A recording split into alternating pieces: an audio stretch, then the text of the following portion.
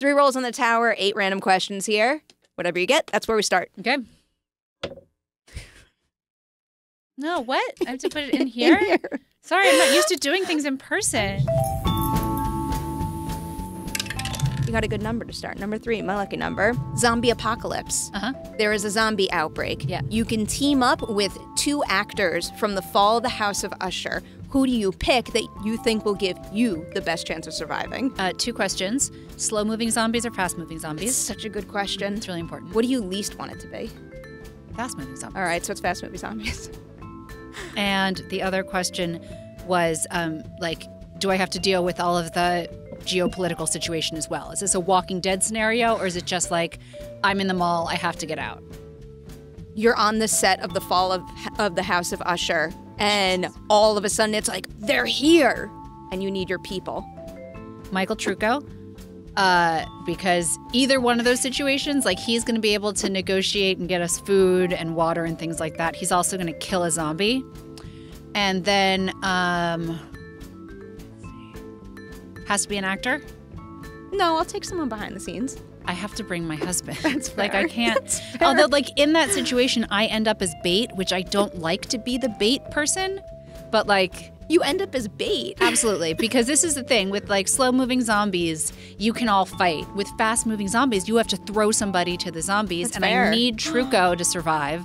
And Mike is such a fighter. Like the first person thrown to the zombies is me. So okay, sidebar, I would take Ruth Codd as bait. Oh no, Ruth. only because I love Ruth. There was um when we were shooting Usher, we were still in COVID, and you have these little plastic like cubby con- like little boxes that have your name on them with all of your PPE, so like your mask and your things like that. And on Midnight Mass, I'd given everybody nicknames. And so in Fall of the House of Usher, everybody was a Kardashian or a Kardashian adjacent character. And um, I made Ruth be Jordyn Woods. And she hated that more than anything. and so she kept switching my name tag because I was Courtney. And I made me Jordyn Woods. And then once she put a full size Jordyn Woods cutout into my trailer to prove that I was Jordyn Woods, and I was like, that's ridiculous. Anyway, so Ruth gets fed to the zombies. So on, I have follow up questions now. So on the set of Usher, it was uh, Kardashians or Kardashian Yes. adjacent. Did you have a different theme for past sets? Um, so Midnight Mass, because that was the only one with the boxes, was Oh, just makes regular nicknames. Like I think um, Sam was Butts, Rahul was Nance. Um, who else had a great one? Oh, um, Michael Trucco was Sexy Flanders. And everybody had different names that just like nicknames that went on their boxes. And Brilliant. then we leveled up at Usher, and everybody was a Kardashian or Glad we Kardashian don't need. PPE cubbies anymore, but I feel like you should just like I know you got nice trailers, but like just have cubbies so you can do it again. I sometimes put people's names on their uh, trailers. Okay, well. okay. I like this. I want to hear uh, this continuing uh, tradition. Thank you. All right, second roll on the tower. See, this I'm such a rebel now. I want to like throw it somewhere else and be like, I don't even need this tone. Can you give me one audition high, but then also one audition low, and tell me what you learned from that low that you could apply to future auditions? Fun fact: I'm a terrible auditioner. I uh, am such a Type A overachiever. I want to win so bad, and that is anathema to art. And so I'm great on set and collaborative and like really fun and natural and like it all flows through me. But in auditions, I'm in a real binary like, is this right or is this wrong? So it's hard to pick just one terrible audition, but I'll go back to that one. The greatest audition was the first time I auditioned for Mike. I love this story Yeah. so, so much. And so, yeah, it's a great story, and I wish I had another. Like, I've had a handful of very nice auditions, but that was one where I had been so deep in the rat race of acting and like really trying to do a good thing. And Mike, in that audition, reminded me that acting was an art and it wasn't necessarily commerce. It's the best audition high story because it feels good in the moment, but it's also implanting an idea in your brain that reverberates throughout your career, and you could remind yourself that art first.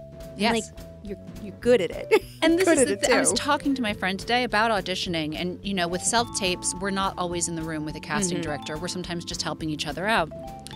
And as an actor, you'll ask the person taping you, like, "Hey, do you have any feedback?" And for me and this friend I was talking to, we never do that because the thing that gets you the job is that one weird, ineffable thing that you can't fake. And so if I say to you, Do you know you always pull on your ear whenever you are lying? Then they stop doing that. Then they lose the opportunity to have gotten the job because the casting director or the director is like, That was so hmm. unique and, and specific, and I love it. And so it's really about the one individual essence like being poured out of you. I have one particular follow-up question that I'm even more uh, eager to ask. I'm going to save it for the meat of our interview. So, so that was a high. Do, do I you got have, the low. Um, low? yeah. So, uh, in order in order to make a living as an actor, oftentimes you have to do commercials. And I famously only have done one, which is a psoriasis commercial. I love it so much. Please, if we can link it, I would love to link it. We It's got like- the Curse of the Black Dahlia last time, and we're going to get the psoriasis commercial this time. It's just because like I'm so sad because I'm itchy and I have no friends because I'm so itchy. And then I have like friends and anyway, it's great. Um, but I got a real chip on my shoulder about commercial auditioning. And occasionally I wanted to be like cute and like I thought I was going to be so edgy. And I was doing a birth control audition where it was like, you know, these like I guess it's like Yaz now or any of these number of things like these female products where everyone's so bubbly. And this was back in the early 2000s where like even the blood was like blue liquid. There was no charm or um, irony to these commercials. And so it was just like, let's do an interview and we'll talk about birth control. And they asked me, what's your favorite thing about babies? And I was such a brat. I said, the tender meat. and I was expecting a laugh like this, like just like, oh, she's so funny. And it was deep horror. and I was immediately beat red, embarrassed. Like, Oh no. no, I thought I was being funny, and instead I was just like horribly just disgust. Who is this disgusting actress? Never went back into that office again. I gave you the reaction you've been waiting for all this time. Thank you, I appreciate that. brilliant, brilliant. All right, you have one more roll in the tower now. Do, do, do, do, do, do. Right, up. Gotta go again. Ah! you did what you said you would do, though. What does it say? It's an eight. Do you want to re-roll, or are we going with the, the, eight? it's the perfect expression of my essence. This one makes me happy. It's my would you rather question. Yay! Would you rather have to fake sneeze or fake vomit in a scene? Sneeze. That was so quick. It was so quick. I love a fake sneeze. Really? Oh my god, it's Most such a impressive. Because I, I always do that because everyone's like, no vomit because it's gross. But like, it's hard to do a convincing fake sneeze. There's a lot of great ways to do it. Here's my favorite follow up to that. What is a like seemingly silly everyday thing that we all do that's really difficult to replicate believably in a scene? I always think of that waking Yeah. up, driving. Uh, plugging in your cell phone or laptop. what? I know it's so weird because like you have when you actually do it, right? Like sometimes the chord's not the right way and it mm-hmm. doesn't really matter. When you're doing it in a movie or a TV show, you have to just do it. You don't have extra beats to like turn the USB the other way. It just needs to go in correctly once. And it's because you just want it to be a smooth transition. And it's so annoying. I'm gonna think about that when I'm like fumbling in the dark tonight to like plug in my phone before Mm-hmm. Because bed. that would be the human way to do it, but like that's never going to be useful in plot. So you're just going to have to Yeah. not, you're to have to just do it right the first time. What's up, everyone? Welcome back for a brand new edition of Collider Ladies Night. Said this before, and I'll say it again right now with a favorite, Kate Siegel. I'm It's so lady happy. night. I'm so happy right now. me too. I mean, it took us years to sit down across from each other, just one on one in person. First question I had for you this time around of all of the earliest projects you did, which one would you say was most influential in terms of teaching you about the stories you most wanted to tell and the types of on-set environments you most wanted to work in? Um, I did a play very early on called The Heidi Chronicles, which is this amazing feminist uh, story about a difficult woman and just like her journey through her life. And before that, I was super into my my like Sigourney Weaver era where I wanted to be in Aliens or I wanted to be Angelina Jolie in Tomb Raider. And I really just wanted to be an action hero which is hilarious because I'm very clumsy. And the act of doing my own like being that would be it would be ridiculous. And that that play introduced me to both complicated characters and she has a four-page monologue Ooh. on stage just standing there and I was like I love monologues. And this is before I even met Mike Flanagan. Perfect. So it's like the dream come true. Just do monologues. I feel like you need to do an action movie now. I would I- love because I feel I feel like movie. once you train, especially train with the pros that this Oh, yeah. industry has, you probably I'd work very it. hard and You I'd do would the work- best I could. You work really hard. I'll just bring back the other follow up question so I don't forget this. But I remember, at, at least, this is what I'm taking from the way you talk about your craft. That Yeah. like you're very detail oriented and Mhm. maybe perfectionist like me. How do you quiet your mind on set? Is there anything, any like technique you use to kind of force yourself to make it all melt away and lose yourself in a scene? So anything that puts me more in my head separates me from the moment to moment reality of acting. So any kind of meditation or things like that puts me more Mhm. into my head. And so the things I like to do are kind of twofold. One is that part of my brain that's always kind of like fumbling with the Rubik's cube of the scene, I think is beneficial. I I love her. I used to hate her, but now I love her. And so what I'll do is I'll give her something arbitrary to think about. Like, for example, I say this a lot, but I thought about when I did that long walk and talk with Zach in Midnight Mass, I, in the back of my head, wanted my brain to work on the fact that Erin Greene hadn't brushed her teeth that morning. And so, like, like it, it had to do with the way that I would look at him, and like it really came out in behavior. But it was a completely arbitrary choice that let all the rest of the work that I did about the backstory about me traveling around the country with this band and how much I love Riley and what it's like to be here and who's watching me and all that stuff. It kind of melted away because it was such a visceral experience to be like, do I have stinky breath? And I would do that. I find those choices really help me. So, for example, with Camille, Camille, um, the arbitrary choice that we went with is that Camille is sober. She's sober up until the moment she takes that edible with her brother. Huh. she relapses and then every choice she makes after then ends up with her death. And so when i was like at family dinner you'll see me i don't even know if this made it into the cut but while i wasn't focusing on like my father my brother my sister the death and this and Mad- madeline and all this stuff i was just moving the wine towards me and away from me because i didn't want my family to know i was sober because they would think i was weak. I love these details so much. and it's like I none of this stuff makes it into the script. And I clear it all with Mike ahead of time or whatever director I'm working with, but it just really allows that part of my brain that just wants to chew, chew, chew, chew, chew, chew, chew, chew, chew to have something so the rest of it can flow. What a cool way to approach that. What a cool way to approach that, but also not deem the way that your brain works as wrong. Yeah. Uh, 'Cause I, I have that where I'm constantly like Yeah. thinking and obsessing and usually people are like like meditate, stop doing Sure. that. But works, Or- for, works for some, not for others. Yeah, and also like look what your incredible brain has brought to you. Like- my my brain has come up with all of these wild, dicey questions, and I'm grateful for it. Why, why not give it something to chew on? Oh, It's y- really cool. You and the team have given me so much to chew on. Before I get there, I had a couple of other uh, broader questions I Mhm. wanted to ask you.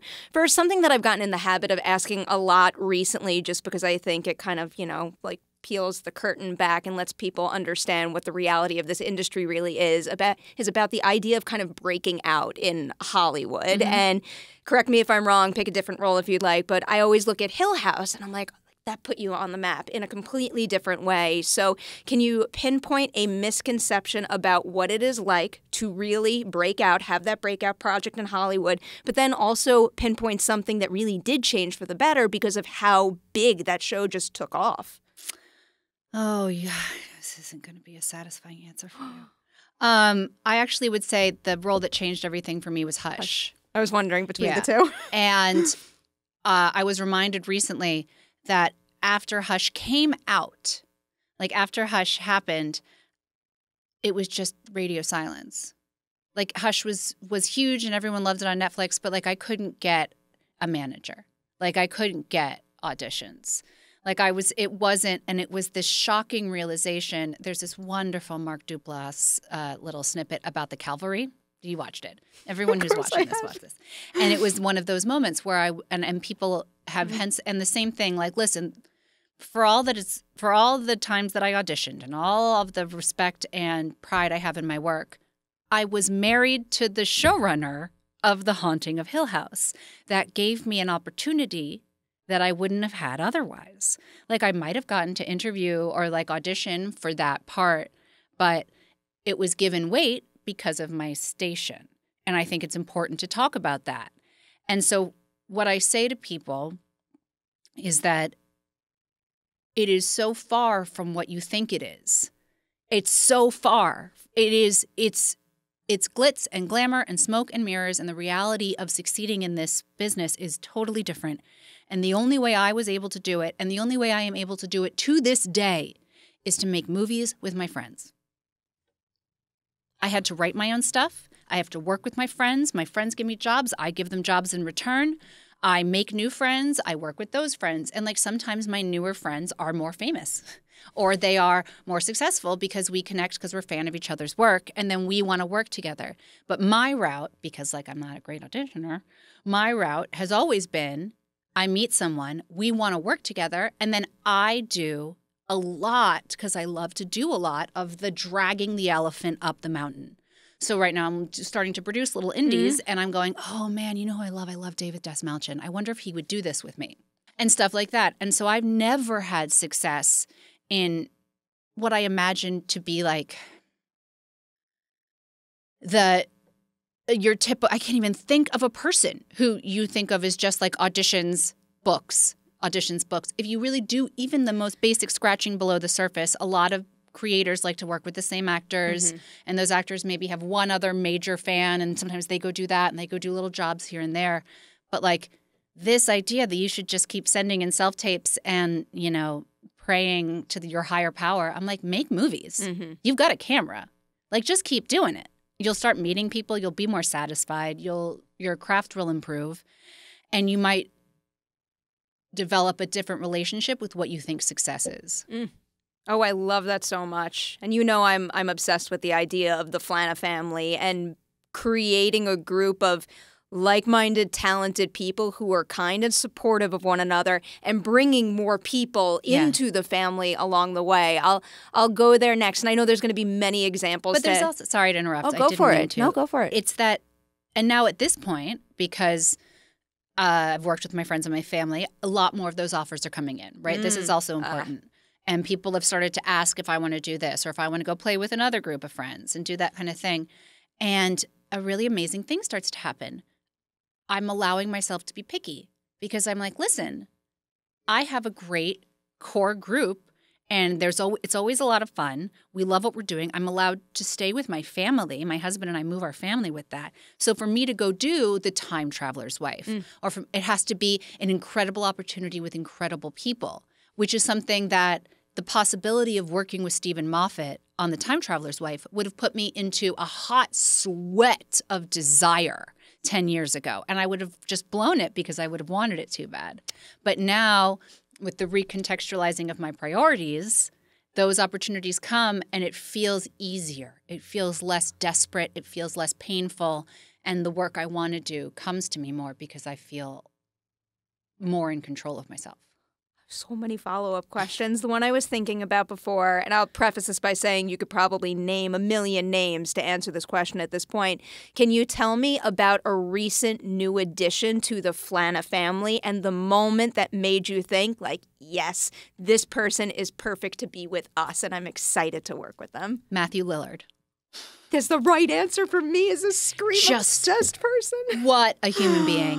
What a part. He we he's in Life of Chuck. I'm not going to give any spoilers on it, mm. but um, we were all in Alabama, and it was it happened to be a particular day where there was a huge amount of Flana fam around. People who went all the way back to Hill House, and we were all hanging out at the hotel where we lived in where we when we shot Hush, me and Sam Sloyan. And we knew Lillard was in town because he was working next week. And he walked uh, into the bar where Sam and I were sitting. And I and Sam was like, "Is that Matthew Lillard?" And I was like, "I think that's Matthew Lillard." And I was like, "What do we do?" And she's like, "Say something." And I was like, "I can't say something. Say something." So I go, "Matthew Lillard," and he looks at me like ready to sign an autograph or something like that. And just I go, "I'm Kate Flanagan. I'm Mike's wife." and he was so from that moment, he was like, "Oh my god, hi!" And we invited him to dinner, and it was like he'd been there all along joyful, kind, talented beyond belief. I mean, elevates every room he's in. It felt like he had been part of our family the whole time. We just didn't know. Oh, I love that so much. I've I'm Scream is one of my favorite movies of all time. I'm obviously obsessed with that cast.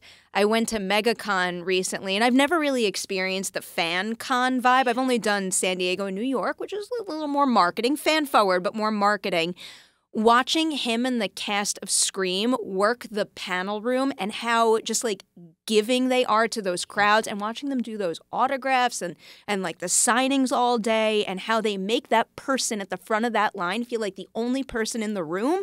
It's not easy to do that all day and they do it and they give so much of themselves to everyone and as someone who's part of that fandom, Yeah. my god, my heart is full watching that. Yeah. So nice. And this is So where we put like the little ding horror people are the best.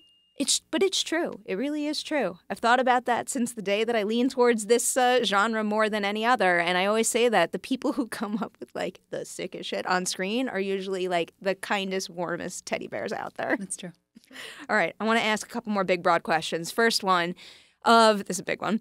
Of all the actors you've worked with, can you give me an example of one person who has a process that is similar to your own, where the second you met and started working together, you're like, we get each other, we know what we're doing. But then I want the opposite someone who came to the table with a different approach to the work and it challenged you to adapt and try something new and for the better.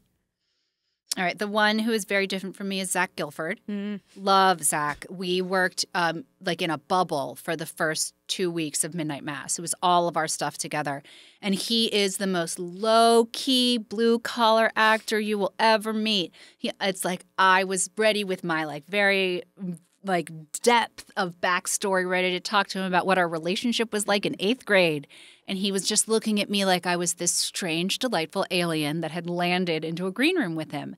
And he was like, I don't know, I memorize my lines and I come to set. Which, after working with him, it's slightly different. There definitely is artistic merit and talent there. It's not as easy as he makes it seem, but that's his process. His process is just, I don't know, it's not a big deal. We do it and then we go home. And it was great. It was so helpful. It was so easy. It was so smooth. And he was so respectful of my process as well. If I wanted to tell him a bunch of random stuff, he would listen to it. And, but he wasn't about to like change who he was or what he was doing for what I was doing. And it was a really great way to both accept the way I do it and to Mhm. see how it's done a different way. It was really, it was It's eye opening. An ideal kind of collaboration right there. Yes. And of course, my dream, my buddy, partner, everyday bruv is Rahul Kohli. The two of us are just freaking nuts for each other. Um, people are like, it's so great to see you guys in a scene together in Usher. And I was like, it was actually the worst because Rahul and I just wanted to hang out and we couldn't. We had work to do. And so like we had to like do uh, shoot a whole scene when we just wanted to mess around on set all day. But we really, we both take it very seriously. We both love the weird physicalities, like him with all his tattoos, me with my wig, and just like we love that kind of outside in. We love trying to figure out how uh, to say a sentence like a human being might say it, and like bounce ideas off each other. And at the end of the day, we love laughing at the whole idea. You two are something. I love that scene so, so much. We're going to get to that. One more question before I go full force into the fall of the House of Okay. Usher. It was something you had brought up uh, last time. So I had I had asked you I had asked you if you picked the role of Erin in Midnight Mass, and you were explaining to me that for folks in the Flana family, you know, you let Mike put you where you think you'll serve the material, where he thinks you'll serve the material mm-hmm. best. But then you followed it up by saying like, but sometimes you get a few cards to play, and it was making me wonder. Can you give me an example of what one of those cards were and how you played it? I definitely played Erin Greene. I definitely played that card. I had read the novel version of it back when we shot Hush. He had told me the story a bunch of times. Um, there are a handful of cards that I tried to play that I didn't get. For example, Rose the Hat, I really wanted to play. I was pregnant, and also I was like a million degrees not famous enough for that part when it became a studio movie. And I thought it landed in the right hands with It- Rebecca Ferguson. It did, but I could still see you doing it It would have been well. fun, but I don't like. She was just so delightful Yeah. that I can't be mad about that. um, there is a movie called Somnia. Oh, I guess it's called Before I Wake now. Yeah. Back when Before I Wake was Somnia, Mike and I like had just only done Oculus together, and I was this extra, and I really loved the mom in Somnia. I really Hmm. loved that part. Uh, but I wasn't. I wasn't ready for that either. And so, oftentimes, I try to ask for a part and don't get it. And but Erin Greene was something that I had never done before. All of my characters, with the exception of Erin, are bombastic and big and like Theo has a point of view, and you know Maddie and Hush has a point of view, and Camille, Yeah. and like all of them, even stuff that isn't with Mike, like Time Traveler's wife, big person, and Erin is this like very tight bud, and I've never done it, and she had to stay perfectly still in the center of the storm, mm. and that idea, like as Hamish and Sam and like the angel and like Robert Longstreet and just like Michael Trucco and like Matt Biedel and oh my god Annabeth Gish. And like she just has to stay absolutely still when the most crazy things are happening to her. And the idea of that challenge was just too delicious because it's so far from me as a person. And I found it so hard every single day. And I think when I go back and watch it, and I love to watch Midnight Mass, when I watch it, that struggle of Erin trying to stay still reads as the struggle of the person so completely. I'm like vibrating on the Mhm. inside and totally still. And it, it gives all of that feeling that Erin needed to kind of magnetically hold the center together. And I think it was brilliant of Mike to know that that was how I was going to vibrate in that role. Makes me happy that you watch and appreciate your work. I, I just hear, like, I understand to, to each their own, everyone's different, but it, it makes me a little sad when someone tells me I can't watch myself on screen when, like, I could see how incredible something is and I want them to feel what I feel when they watch their own work. Yeah, I think you need to wait. Like I need to wait a little bit. Like I wait six months to a year. But then I think of it as like game day tapes. When I'm preparing for Mm. another role, I'm like, what did I see? When did I see the stitches? When did I see like when did I flinch? Just stuff like that. To build off how you were just talking about Erin, this can kind of lead us into Fall, the House of Usher. In terms of her being something different for you, what was it about the role of Camille that made you think this is the next best role for me to take as an actor who's continuing to evolve my craft? Um, Camille was handed to me as a fully created thing, right? All of those uh, siblings were written for specific people. And Camille was specifically written for me. And it was just like a delicious gift. I don't even think it was like a stepping stone. For me, it was just a feast. I was like, Trevor and Mike and Michael Fimognari, the director, they were basically like, take off the reins, go. Go, run, little pony, run. And I was like, run? And they were like, run. And I was like, what about a wig? And they were like, a wig. And I was like, what about this weird dress? And she wears a turtleneck underneath it. And then she's wearing these weird shoes. What if she ties her pants? And they're all like, sure, what is it? Iconic fashion. Usually that's not the first thing about a show or movie that jumps out at me, but my God, that look is just seared in my brain and so many people's brains now. It is perfect. We love, oh, Camille's look. Perfect. Oh, I love it. I miss her. Where, what would you say is the biggest difference between how you pictured her when they first handed you the role and what she wound up looking like in the finished product after you got the opportunity to collaborate with a costume designer and all that good stuff? I mean, the only thing I wanted that I didn't get just because it was difficult because we were block shooting, which means we shoot in a location. Mm. And so it could be like seven different times in one day, everything that happens in dad's office. I wanted those like claws. I wanted long, like glitzed out, like with every, it's as if she has nails for every outfit, just claws. It was really, I really wanted that. And I wanted that to be a part of it. And we just, we couldn't make it work. Understandable. But Terry and I, Terry Anderson, who did the wardrobe, we worked very Mm. closely with every single one of Camille's looks. A lot of her stuff was pulled from my own closet, and but we got almost everything we wanted.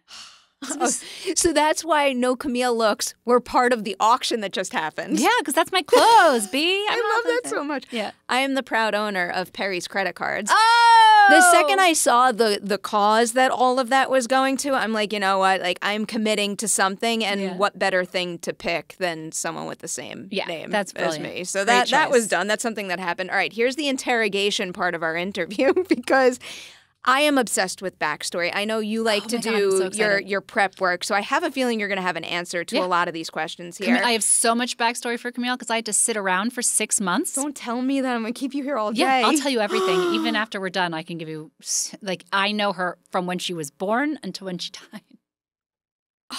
I'm so excited Okay. right now. Okay, I'm I'll start I'll start broad so you could start with whatever you want, but I'm most curious to hear about some of her core memories. So what is Uh-huh. something you came up with that we don't necessarily see or Mm-hmm. hear about on screen, but we can feel informing your performance throughout the show? Yes. So so I believe that Camille and her family were Roma. And Bruce, uh, sorry, and, and Roderick Usher came across them one time near Spain and slept with my mom. And I grew up in that way. I was a little bit of like a con ki- con artist kid and doing all of that. And then I found out when I was 18 that my dad was Roderick Usher and he asked me to come be with him. And I went to my mother and my mother said, "When I was young, 18 years ago, I slept with the devil." If you are going to this man, I'm telling you, I was like crazy. I've gone I full love out this. there. You told me about the uh, Erin's plumber last time, so Yeah. I expected all of this Yes. right now. So I was like, if my mom said to me, if you go live with that man, you are making the choice to go be with the devil, and I wash my hands of you, and what will happen to you? And I I was enticed by the money. I was just like this wild kid, so I left. And that's sort of why when the monkey is about to rip my face off, I get it because I was like, this was inevitable. Oh my god, my head is exploding. So the line, uh, Fuck "Fuck, it, I it, got I mine." got mine." Yeah, Was that always what was scripted, or did you ever? And what was it like figuring out like the pitch perfect way to deliver a line like I that? I knew it from the second I got the script how it went because it was there's this thing that So happens good. there's this beautiful structure to that scene which is like um, you get this slow slow slow slow creeping up slow creeping up slow creeping up slow creeping up and a denouement that bottoms out at fuck it I got mine. And then boom she gets her face ripped off by a monkey. And it's such a weird structure. And so you ha- that fuck it I got mine has to be absolutely angelic almost. Like true acceptance Yeah. and a true understanding that she got the information she needed about her sister and that her sister was messing with those chimps and she was right and it was it but this has to happen and there's no other way and so it's acceptance which is the plie which lets you the audience envision how horrific that death must have been One of my favorite things in any of these interviews is when I hear an actor explain their approach like that, and I'm sitting here thinking, "That's how I interpret it. That's what I felt. I get it. That's right." Oh wow, that Yeah. scene is something else. I love how many of my backstory questions you just answered too. Here's here's one more specific thing, and I think uh, what what was it that Carla says? Oh, uh, she pinpoints why Camille and Vic don't like each other as them being so alike, and Camille hates Vic because she's better at hiding it. Is that the gist of it, or did you come up with any you know life moments where the two of them fought and that began a rift? Um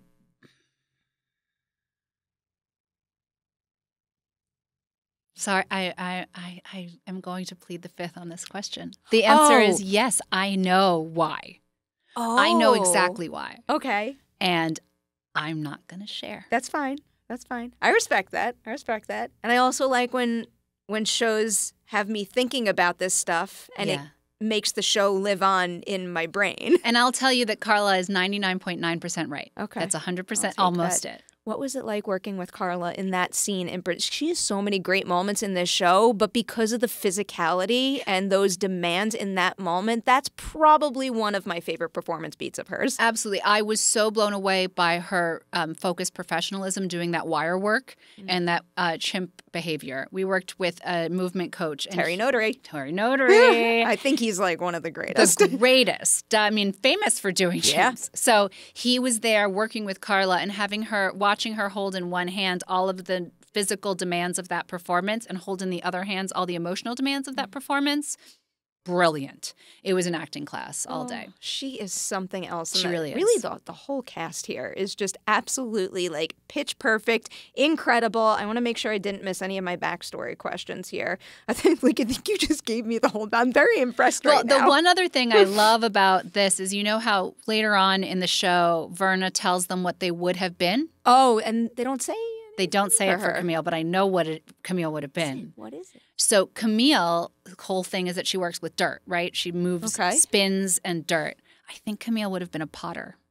Huh? She would have made things with dirt in her hands. I could see that. And so that whole thing, but she couldn't, once she kind of distanced herself from her family, her family of birth, she couldn't get dirty anymore. She couldn't get intimate anymore. Everything went internal. And so that like desire to work with dirt came out this way. And it was like, ah. it's very sad.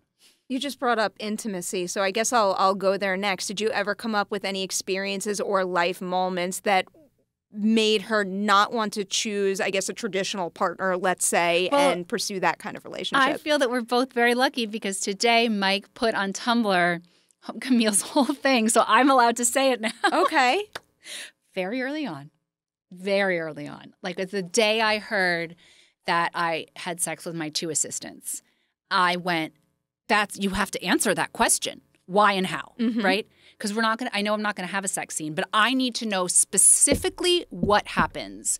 And I was like, and this is a real, like, this is like a glue minefield because if you want to talk to other actors about kink or like how you have sex off camera, like there's a lot of steps there. Like you want an intimacy coordinator, you want a third party, you want to make sure you're not t- triggering anybody.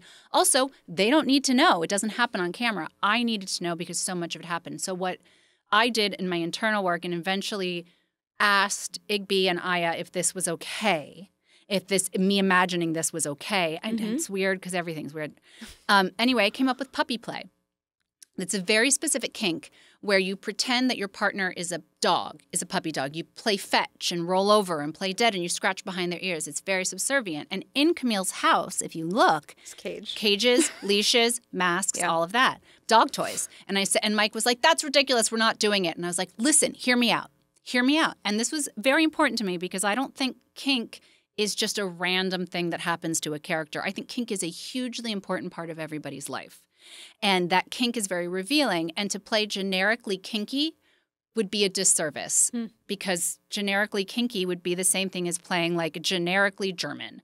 You need to know where you're from. You need to know what kind of German. Like this. So I was like, this specific kink that Camille's into has to do with intimacy because Camille cannot deal with the idea of being intimate with an equal. She can't deal with being responsible for somebody else's feelings, for them having anything other than complete and utter adoration. It's why, like, people love babies. Everybody loves a baby because, like, you just adore them and they adore you. There is no human really there who might have opinions and needs and things like that. And so Camille wanted to be at the bottom of a puppy pile. She just wanted this young, complete adoration and she wanted to take care of them. Absolutely, she did. And she, like, she paid off Tina's student debt. Like, she wanted to pet them and brush them and hold them and have it be like weird and sexual and things like that. But she could not allow them to be human with her. She couldn't have intimacy the way other people can. Oh my. There's I love that you think all of this through. I say this all the time. And again, I'll repeat, everybody's approach is different. What works for you is what works for you. But I am a big believer that when you think things through to that extent, you can feel it in the finished product, Yeah. even if it's not the focus of a scene. It's never. And like, listen, as an actor, none of that ever comes up in mm. scene work. And it's just something I do because it's fun for me. Again, it's the Rubik's Cube. And I'm just sitting there, like in the three hours you sit in your trailer between setups. And I could play Candy Crush on my phone. And sometimes I do. And sometimes I think of random shit that happened in Camille's life. And it's just a way of distracting my brain to eat the stage fright. What do you think Camille does when she turns off? Like when no one is in the room, when she doesn't have to like put put on that kind of like armor and strength. Yeah. What do you think she does? She watches fun? Bill-T videos. That's She loves She does watch Bill-T videos. That's another one. You should watch the progression of that, where she gets interested in him and that first that she sees him right at the beginning and she's watching his video and she's like, that's disgusting. And then she's watching his video and she likes it. And then she's wearing a full Bill-T sweatsuit She is wearing it. Yeah. and trying to do it. She and she's not in love with him. Like Camille can't love people. She is not Mm. capable of loving a human being. But she was a, she really just like that whole thing was so weird and positive and so different from her life and just like so much fun to stare at. Let's go to a surprise on set. So you've worked with a lot of these actors before, and I Mhm. know you know they're all great, but can you give me an example of someone who did something on the Fall the House of Usher set that made you go, I know you are super talented, but I never realized you were capable of doing that? Henry Thomas in this He's part good. cracked me up so hard. I remember Mike coming back the first day he shot Froderick, and he was like, "You have no idea. This is brilliant." I think it was when he said, "We have the power of uh, Pym has the power of six or seven lawyers," and it's just like he was like, "We couldn't get through taping the scene because it was so funny." And when we were all sitting there for family dinner, Mhm. which we had to shoot twice, um, we he does this thing with the the paperwork and he goes, You want me to sign it? I'll sign it right now. And I was crying off camera. It was just so funny. I've never seen him do anything like this character. That character was not written necessarily the way the choices he brought in with the man bun and like and that like goofy man to psychotic torturer is such a brilliant choice. That's a brilliant arc because he didn't have to do that. But that transition from like laughing stock to monster. Mwah, chef's so, kiss. So good. I don't know if you want to talk about shooting that scene twice, but one thing I was wondering when you get when you Mhm. have to do something like that, is there anything that wound up changing in the scene for the better, where you got the experience of doing it once and then you were able to make a different decision for yourself to maybe enhance something that you had done before? I think what was so amazing was watching Bruce Greenwood go through it. So Because- good in this. Like I, I, watched, I saw this on Twitter, and it's true. Every single shot you see of Roderick, except for him sitting across from Dupin, is an emergency reshoot. And so Bruce comes in with one, maybe one weekend to prep that whole role. And so Wow. all of these children are in awe of their father. And so it was very easy for me to be in awe of what Bruce was doing because it felt like he had lived with the role for six months. He was brilliant. He was professional. He was giving as a scene partner. He was flexible. He was inspiring. It was so for me, yeah, getting to do it again is great. But what was really great was what Bruce did, like Yeah. how he nailed it. perfect in this. Perfect, Perfect. in this. And the the Madeline Roderick sibling back and forth, that is like an expertly crafted dynamic. Yeah, they did Ugh. a great job. So, so perfect. I feel like this is like the million dollar question. Let's say Camille was in Roderick and Madeline's shoes. She got the opportunity to have a meeting with Verna and, you know, get that offer, have that knowledge of being okay going forward. Do you think she would have made better choices than they did? Or is this something that is always in them to to pursue me first and not Yeah, care I for mean, I other think people? Camille absolutely makes the same deal. But mm-hmm. Camille doesn't want money. She wants knowledge. She wants to know everything. And so the deal Camille would make is I know everybody's secrets in exchange for that. She doesn't necessarily need to be okay because once she has the secrets, she'll be okay. Do you think any of the Usher siblings would have made a different choice, or every single one of them would have essentially have been doomed? That's a good question. Um, let me. Perry, yes. Leo, maybe. Leo might have stepped out. Uh, I would do it. Tammy would do it. Uh, Victorine would do it. And yeah, Froderick would absolutely do it. So yeah, I think ah. all of us, I think Leo, maybe not. It's hard to know. Rahul built like the the saddest soft boy. So it's like He's so good he's so good. I also just appreciated that Mike made a cat a hero this time around. I Yes, just never forget the That's dead true. cats on the beach in Midnight Mass. I'm like, what, what, what do those cats do? And now all of a sudden, Pluto rises to the top. to the top. Just when he when he hops on that that dead body and is like, "Me and my Gucci collar are Oh going home." Oh God! I feel like, and after I watched that episode, five minutes later, my cat scratched me or something. Oh, I'm sure. Bring cats. Um, I love ending with this question now. Of everything you accomplished in the fall of the House of Usher, what particular beat, what moment do you think you're going to look back on and say to yourself, damn, I'm really proud of what I did there? I don't give a shit, Beth. That moment, we we had so much fun. I had built that for six months. That whole monologue, just walking around Vancouver, everywhere, just mumbling that whole thing. Dopamine riddled little fuck puppets, and just like everything, just trying. And I was like, I I don't know how this is going to come out. I don't know. And I did it once or twice, and it was pretty good. Like it was fine. We were burning it through, and they had a lot of good coverage. And Fimi, uh, Michael Fimognari, our director, was like, he was like, "Ah, just just let go more, let go more, just really like go. And I was like, I don't really know what that means, but I was like, okay. And so what I thought was like, because there is a certain quality to Camille that is soapy and is cartoony, but I think that's her personality, not necessarily the um, the acting style. If you get what I mean, like she has her number one boss mug because there was this whole sidebar in my head. I was like, does Camille read Poe? Because if she does, would she know that Le Bon, the security guard, and like that would maybe set her off for something because she would know. And I was like, so she can't have any understanding of Poe, but why does she call him Toby? Damn it! And I was like, oh, she's a fan of The Office. And if she's a super fan of The Office, so much so that she needs someone named Toby to yell at, she's going to need a mug. And so I leaned into that side of Camille that like loves this weird shit. And so I was like, that is the Camille who needs to come out when she's angry. The Camille that she tries to hide, which is goofy, over the top, wants to wear a bizarre outfit and drink out of her number one boss mug.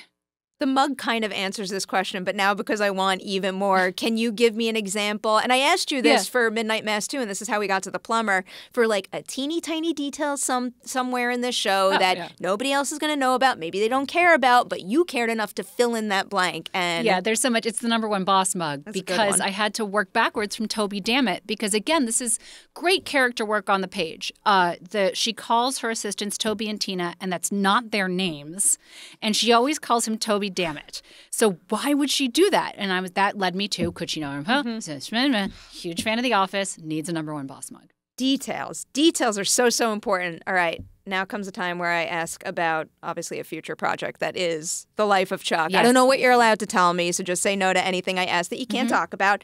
Can you tell me who you're playing? No. Okay, I'll take that. Are you able to tell me anything about the format of the story? Is it going to be structured like the short story or is it going to maybe be more linear? No, like no as in you can't tell me. I can't tell you. Okay, I'll take that. But I will tell you this: it's amazing. It's I would beautiful. believe that. I'd It believe is that. not a horror movie. Oh, okay. I, I, I would I would see that. I would see that based on the material, the source material. Here's one that maybe maybe you can answer. Okay.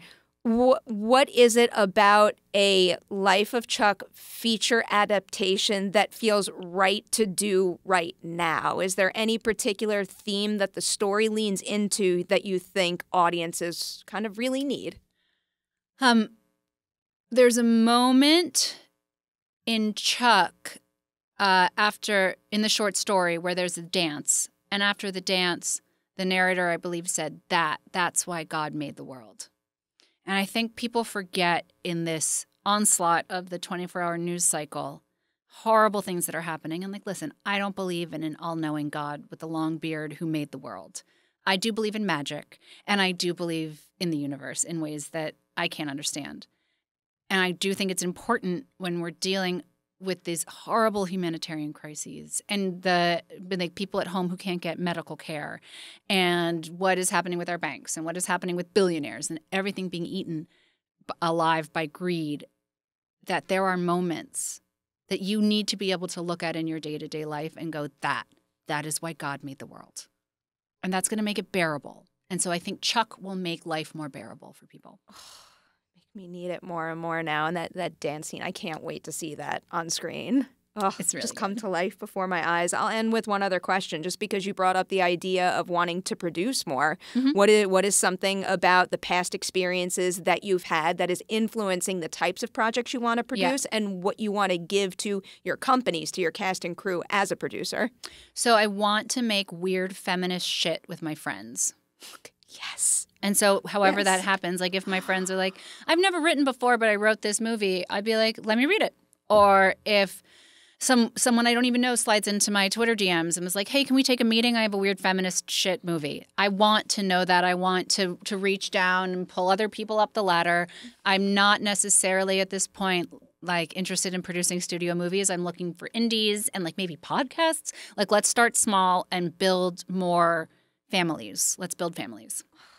I don't think I could have heard a better answer to that question. Seriously, that's beautiful. Congratulations on this and everything you've accomplished. And thank you to you and the Flana family for continuing to gift us with these things to obsess over. I look forward to very many more in the future. Thank you so much for having me. This is a blast.